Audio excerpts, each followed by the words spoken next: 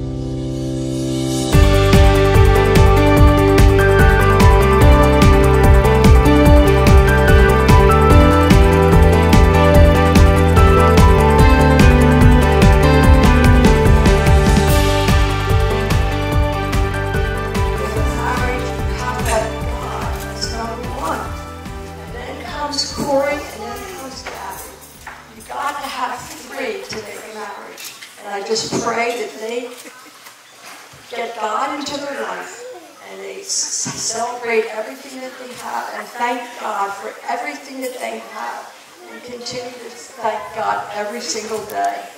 And right now, I'd like to thank, have a blessing over our No, I, uh, you know what, when I met you, Corey, uh, I really could tell right away that you were different, uh, and Gabrielle had, no, in a positive way. No, he, I could tell Gabrielle was different in terms of how she talked to you, how she looked at you, and I just knew you were the one. We used to say, first comes love, second comes marriage, third comes baby the baby.